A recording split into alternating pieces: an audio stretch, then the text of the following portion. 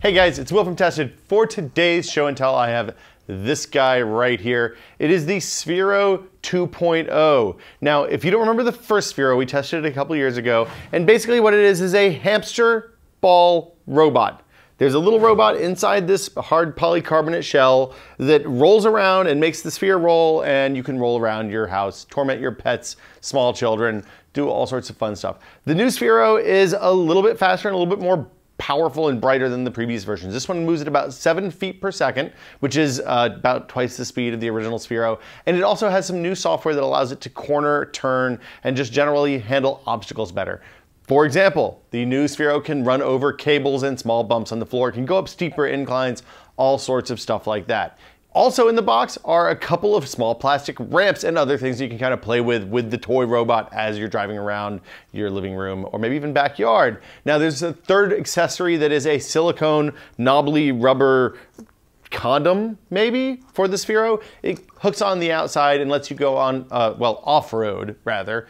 Uh, let's just take it for a spin and show you what it can do. So on the floor in front of me, I have three Spheros. They're all connected to different devices, but they're all running the new app, which adds the RPG elements and the kind of grinding and leveling and all the stuff that I think is pretty lame, actually. The first one over here, this guy that's moving right now, the red one, is the original Sphero. I'm controlling him with an iPad. The next guy over, the blue one, is the second gen Sphero that I killed by putting it in a swimming pool.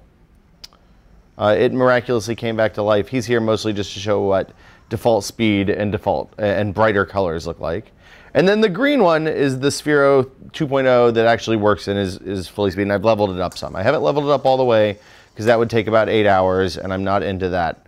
Um, but this is, I think, two tiers of the speed, three tiers of speed of five leveled up. Each tier takes about five minutes uh, for one point, and now I have to spend three points in order to level. Okay, so first, you set its orientation to you by putting this blue dot facing you. So I'm gonna aim it toward me, I'm over here. Um, and then you use this, the, the D-pad on the, on the screen to uh, go relative to that direction. So moving right on the stick goes right, moving left on the stick goes left. I just said that backwards, but you get the gist. Forward goes forwards, back goes back. The new one is much more maneuverable than the old version, and it's also a lot faster. So even leveled down, without being fully leveled up, I'll, we'll do a little race here. So they should both go the same way. Fingers crossed. And we'll come back. this brings up another one of the things that I think is really unfortunate about the new software, is in order to, to play with it, it's gonna smack into things.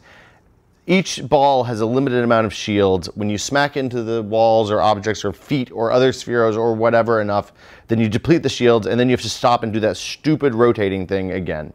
So basically it punishes you for having fun because the nice thing about these is they're indestructible and you can crash into things and nothing happens really. In order to play the, to get the maximum performance out of the new Sphero, you have to level up four different components. Boost, shield, speed, and colors. I already talked about shields a little bit. Boost is this thing on the left, on the right side of the screen rather.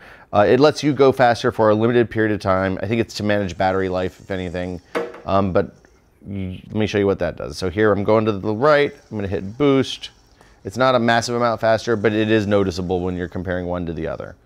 Um, shields let you take more damage without having to uh, reset. Colors let you make the colors get brighter. So for example, on the swimming pool Sphero, I've leveled up the colors. So I can go into the second ring of the color sphere, or third ring of the color sphere rather than the first ring. It's very exciting stuff. You can do tricks. It comes with a ramp and a catch, so you can actually drive things. We'll, we'll do a trick right now. I'm gonna go off the ramp into the bin. So that's pretty much the Sphero. The, the new software that they released last week to coincide with the launch of the new 2.0 version of the Sphero really sucks. Uh, it makes a lot of the stuff that was fun right out of the box not fun at all.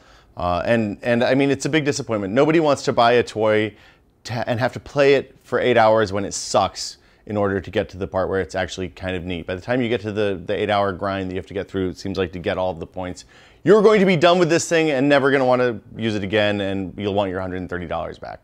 So I would advise waiting until they fix the software. I'm sure people are raising hell right now. Um, until then, Sphero 2.0, it's kind of lame. See you guys later.